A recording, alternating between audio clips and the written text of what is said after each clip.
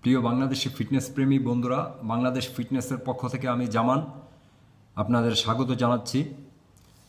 আজকের এই ভিডিওতে আমি আপনাদের সাথে ঘুমের যে- গুরুত্ব রয়েছে সে বিষয় নিয়ে আলোচনা করতে চাচ্ছি।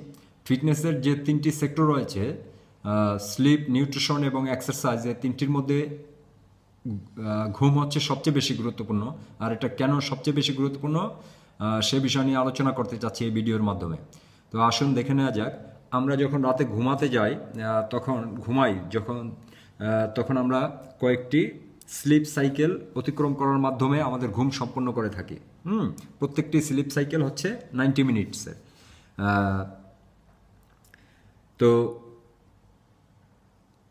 এই স্লিপ সাইকেল শুরু হয় ন্যাচারাল যে স্লিপ সাইকেল সেটা শুরু হয় রাত দশটা তিরিশ মিনিট থেকে মিনিট থেকে।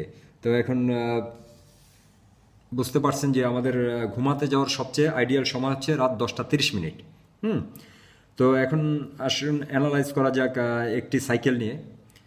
তো একটি নব্বই মিনিটের সাইকেলকে তিন তিন ভাগে ভাগ করা হয়। হুম?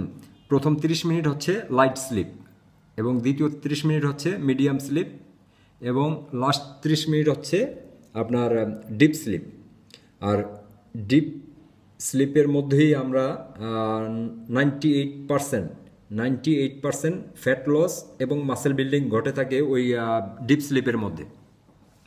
অনেকেরই ধারণা যে আমরা যখন এক্সারসাইজ করি জিমে তখন সম্ভবত আমাদের সর্বোচ্চ ফ্যাট বার্ন হয় ওইখানে, অথবা সর্বোচ্চ মাসেল বিল্ডিং হয় ওইখানে। হ্যাঁ ওগুলো ভুল ধারণা। অ্যাকচুয়ালি সব কিছু ঘটে থাকে, সব, ভালো সব কিছু ঘটে থাকে মানে বৃদ্ধি সংক্রান্ত সব কিছু ঘটে থাকে ঘুমের মধ্যে।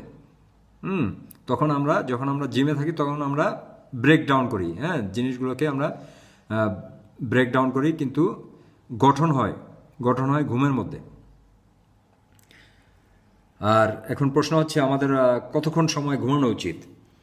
তো অ্যাভারেজ অ্যাভারেজ মানুষের মানুষদের জন্য ছয় ঘণ্টা ঘুম যথেষ্ট।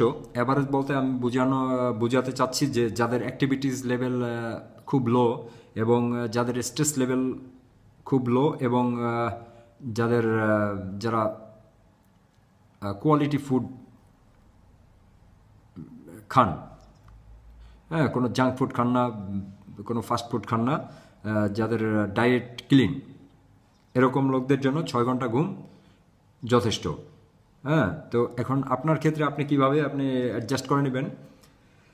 আপনি যদি ছয় ঘণ্টা তো আপনার আছেই, এর সাথে আপনি অ্যাড করে নেবেন আপনার অ্যাক্টিভিটির উপর অ্যাক্টিভিটির উপর নির্ভর করে। যেমন আপনি যদি এক্সারসাইজ করেন অথবা আপনার আদার্স শারীরিক অ্যাক্টিভিটি আছে, ওগুলো আপনি সময় বাড়িয়ে নেবেন।